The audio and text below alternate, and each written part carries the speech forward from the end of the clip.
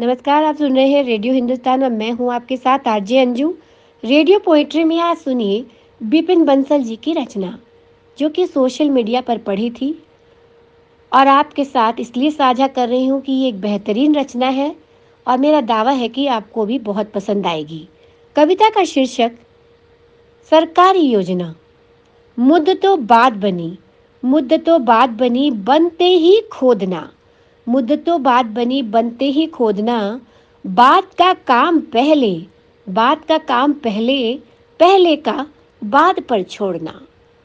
फिर नए सिरे से, फिर नए सिरे से उन सड़कों को खोदना। फिर शुरू होती नई परियोजना। फिर नए सिरे से उन सड़कों को खोदना।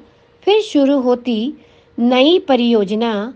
समझ ना आई हमको समझ ना आई हमको ये सरकारी योजना। बिजली फ्री, पानी फ्री, बोतल के संग एक बोतल फ्री, बिजली फ्री, पानी फ्री, बोतल के संग एक बोतल फ्री फ्री फ्री चिल्लाकर चुनाव में वोट बटोरना। एक घर में फ्री बिजली, दूजे घर गला घोटना। एक घर में फ्री बिजली, दूजे घर गला घोटना। पानी के मीटरों का तेज दौड़ना। पानी के मीटरों का तेज दौड़ना, संयुक्त परिवारों का शुरू हुआ टूटना। समझ ना आई हमको, समझ ना आई हमको ये सरकारी योजना। पीने वालों की लगी झड़ी, पीने वालों की लगी झड़ी, एक के संग एक फ्री। गली गली ठेके खोलना, पीने वालों के कांधों पर अर्थव्यवस्था को छोड़ना। पीने वालों के कांधों पर अर्थव्यवस्था को छोड़ना, मैखाने में बदल कर दिल्ली को छोड़ना। मैखाने में बदल कर दिल्ली को छोड़ना बहुत खूब इनका सोचना, बहुत खूब इनका सोचना। समझ ना आई हमको, समझ ना आई हमको ये सरकारी योजना। ताहिर हुसैन क्या नहीं था पास?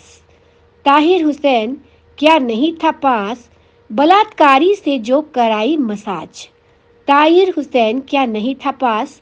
बलात्कारी से जो कराई मसाज, इनके अहदे को सलाम, इनके अहदे को सलाम जेल में मिलते हैं पकवान। इनके अहदे को सलाम जेल में मिलते हैं पकवान यह आम आदमी की पहचान? ये आम आदमी की पहचान घर को दीमक की तरह चाटना, घर को दीमक की तरह चाटना, चुनाव में रेवड़ी बांटना। वोट के लिए घर घर याचना। समझ ना आई हमको। समझ ना आई हमको ये सरकारी योजना। पूरी उम्र गुजरी। पूरी उम्र गुजरी पर न देखी ऐसी लड़ाई। पूरी उम्र गुजरी पर न देखी ऐसी लड़ाई। गवर्नर के हाथों में दिल्ली की सत्ता आई। गवर्नर के हाथों में दिल्ली की सत्ता आई। चुनी हुई सरकार के कार्यों में बोलना। चुनी हुई सरकार के कार्यों में बोलना, जनता के फैसले की क्यों हुई अवहेलना? जनता के फैसले की क्यों हुई अवहेलना? समझ ना आई हमको। समझ ना आई हमको भैया, ये सरकारी योजना। समझ ना आई हमको, ये सरकारी योजना। तो इसी के साथ मैं लूँगी अनुमति। रेडियो पोइट्री में फिर से एक सुंदर रचना लेकर आपके सामने उपस्थित हो जाऊँगी। तब तक के लिए सुनते रहिए रेडियो हिंदुस्तान। नमस्कार।